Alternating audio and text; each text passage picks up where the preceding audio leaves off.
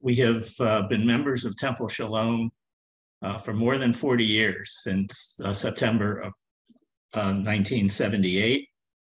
And in all that time, we have lots and lots of memories of things. We've picked some of the things that have been most important and stand out in our collective memory of things that we would like to mention. Uh, I have many memories of accomplishments of my children as well as friendships we have made. Um, particularly, uh, both my children have had B'nai mitzvahs um, at Temple Shalom and their confirmations. And it was always so wonderful to be able to kvell with pride at all the work they did and leading to the growth as wonderful people they are now today.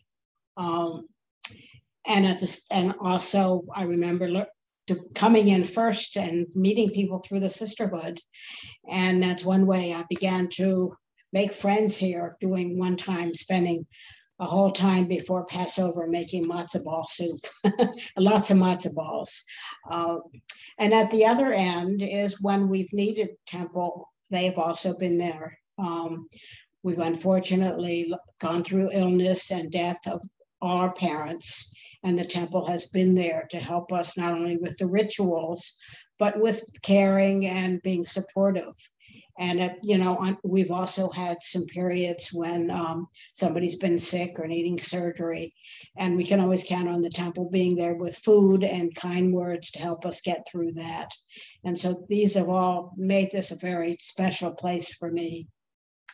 Yeah. Uh, uh another memory that certainly stands out is our daughter's wedding, which happened on October 28th, 2011 not too long after 9 11, when Rabbi Kahn, who was going to do the ceremony, was called up to service.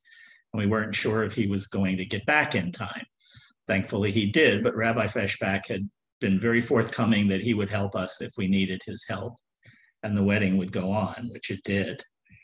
Um, we've been longtime members of the Temple Shalom Wine Tasters, and we're in a Havurah, the Silver Spring Havurah, for more than 25 years and we've made a lot of friends. They're our closest friends uh, in the temple.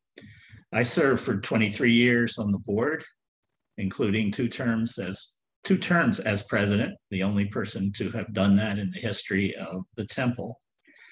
Um, another thing that uh, we found really wonderful, uh, three couples in our Havurah celebrated their 50th anniversary during the same year. And we had approached uh, Rabbi Rachel and uh, Emily to get, get a blessing. Well, they went overboard. They they created this wonderful blessing and service. They, they had flowers. Emily wrote a song for us. It was really wonderful. And again, shows the support that we can get from the temple. And finally, one of the things that I'm proudest of, the temple recognized all the work that I have done and presented me with a Lifetime Achievement Award in 2015.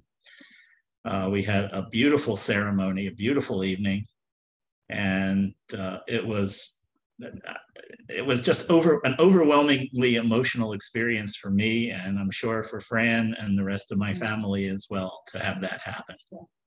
So we hope to be members for a long time to come yet.